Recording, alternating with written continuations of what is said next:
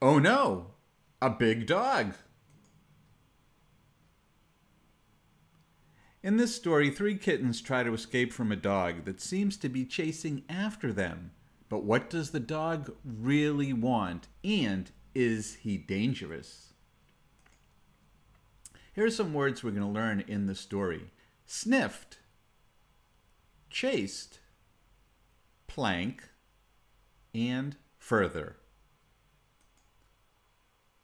A yellow, a brown, and a white kitten were wandering through the fields when they found a big dog in front of them. Suddenly, the dog sniffed at them, and the three kittens panicked. They ran as fast as they could away from the dog and straight into a little boy holding a balloon. The brown kitten got up again and ran with the other kittens. Meanwhile, the dog was very interested in the kittens and he chased them. The kittens looked behind them and saw the dog coming. The yellow kitten ran straight into a low flying bird. The kittens followed a lane and kept running. Uh, they were getting tired.